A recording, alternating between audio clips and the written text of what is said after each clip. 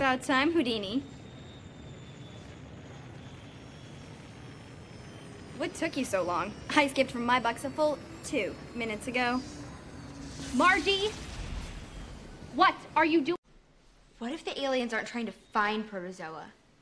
What if they have him? Excuse me? You know, what if they did some kind of a, like an alien abduction, and now they're just trying to bring him back? Do you seriously think a UFO could swoop down, swipe up one of the most mega famous guys on the planet, and then zoom away without anyone seeing them? Negatory, Marge. Aunt Judy, doesn't Linda mean something in Spanish? Beautiful. I'm pretty sure. Linda Nova.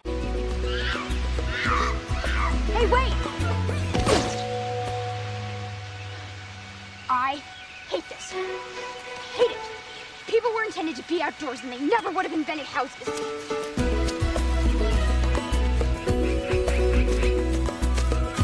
whom you claim to love into life-threatening jeopardy. It was reckless. It was selfish. No, Daddy. What Zenon did was brave and thrilling and Marjorie, Leslie Hammond, are- are you contradicting me? Do you dare to argue with me? Yes, Daddy, I do. I'm terribly sorry, but you're wrong. Zenon did find aliens, and they spoke to us through her. And we gave them the navigational stuff that they needed, and they gave us a tow home. And the whole thing is